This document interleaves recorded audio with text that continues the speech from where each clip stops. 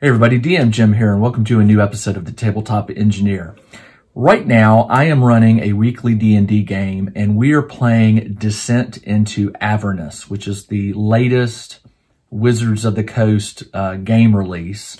And a few, quite a few episodes back, I'll put a link up here for you, I made this. This was one of the war machines um, that is run on soul coins this was my take on it. Uh, I built this from some Lego bits and chipboard and toothpicks and that kind of stuff. And again, I'll link it up here so you can go take a look at this. But anyway, in this episode, I want to create some more. What I'm going to do is I raided my kid's toy chest. My oldest son used to play a game called Skylanders. Some of you may have heard of it, some of you may have not. Skylanders was for various platforms. They played it on Xbox. And basically it was one of those games where you can put a figure on the base and that figure would be, you know, would appear on screen and you could play.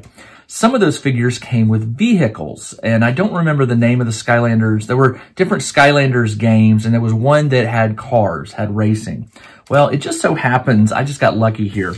Uh, when I was going through my son's collection, and he doesn't play it anymore, I found these two. And they are perfect for converting over to Avernus style vehicles. So in this episode, I'm going to do just that. Uh, I will give you information in the description below of which toys these are so that you might be able to go and hunt them down. They are not the only Skylanders vehicles, so there may be others out there that would be just as good. But these are the only two I have. So let's get to the work table and let's uh, let's get these converted over to um, War Machines. And before I start modding these things, I want to go ahead and glue the wheels because right now, as you can see, they roll and that doesn't really make it easy sometimes to glue things on. So normally to glue uh, like the Hot Wheels cars, I would just do super glue down in the axles, but these are pretty large and I don't know if the uh, super glue, how well that would do. So what I'm gonna do is I'm just gonna put some hot glue down in there on the bottom. You won't see it. The hot glue should keep these things from rolling.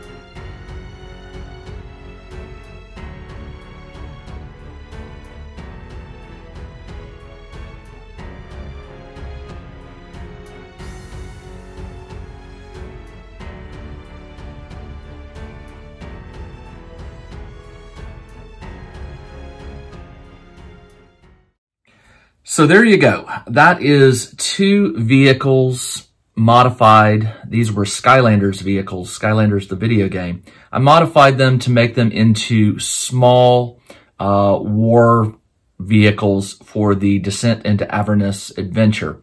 Now these are really meant to be one person Uh, there's just one driver's seat. I guess you could put, uh, you could modify it and add some stands and things for other miniatures to stand on.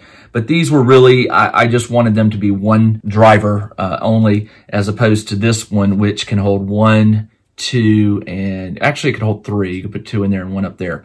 So nothing real advanced here in terms of crafting ability. It was just using something that I had on hand and then adding spikes and some armor plating and some chain and things like that just to just to rev it up a little bit. These were toys, simple Skylanders toys. One thing I was really impressed with is the level of detail on these things. The rivets, uh, the upholstery on the seat, um, just, I mean, they, they were really well done. Now, I'm going to put a link below to where you can go check out uh, all the different vehicles that are available. I looked at them, and there are some really cool ones that would fit perfectly with the Avernus setting. So these just I happen to have on hand because I took them from my kid's old toy chest. Right now, I'm pretty pleased with these. I'll take some close-up photos for you to show you a, a little more detail. I like this one better than this one. This one turned out okay. I had to add a lot of coats uh, of a darker bronze to take the gold tone down on this one. Now it's where I can take it. Other, it used to be bright, bright gold. Um, this one, I just, it just looks cool. I'm, I'm really pleased with how this one turned out, especially with the spikes and stuff. All right, I'll be back next Friday with another crafting video. I have something in mind that I think you'll like. Please come join me on the Facebook page, the Tabletop Engineer Facebook page we are growing and growing and it's really uh, it's an it's a fun place to um, post photos of projects you're working on and ask questions and things like that. And it's just a good group over there a really good uh, really good group of friends. If you like this video and want to see more uh, not just here on Friday craft videos but more videos in all I have a new Patreon, and I'll put a link below. It's called patreon.com slash the tabletop engineer. For a dollar a month, you will gain access to all kinds of stuff.